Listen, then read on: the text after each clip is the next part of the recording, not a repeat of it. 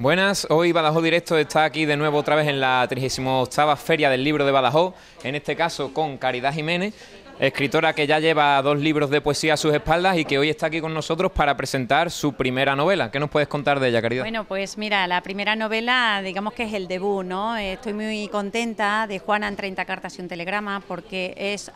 es una novelita corta, pero lleva 25 años de carga familiar, es decir, Juana es una persona, mi abuela, que vive en Navalvillar de Pela, eh, está allí mandada por sus padres para que cuide a las niñas de su primo hermano que acaba de quedarse viudo. Y entonces ella encuentra una diferencia muy grande entre lo que es su vida en el cuartel de la Guardia Civil de Santa Amalia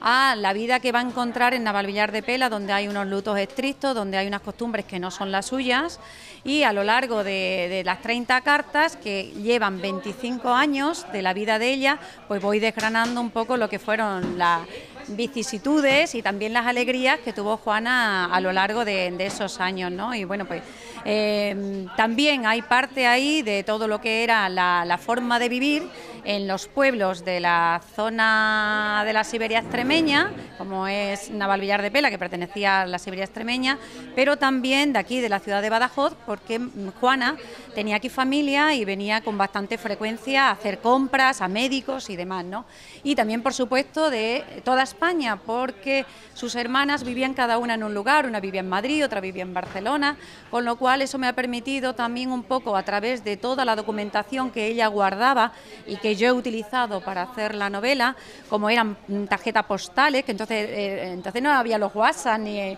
ni había el Internet, se comunicaban a través de cartas y entonces pues bueno, a mí me, me ha sido fácil reproducir eh, la forma en la que lo hacían ellas, puesto que mi abuela conservaba cartas y tarjetas postales de su hermanas, de su familia, ¿no? Y, ahí hemos, hemos montado lo que es la novela, en fin, eh, lo paramos en la guerra civil y eh, posiblemente a lo mejor en algún futuro la, desarrolle, pero por ahora creo que, que ese era el momento crucial para, para cerrar las andanzas de Juana, ¿no?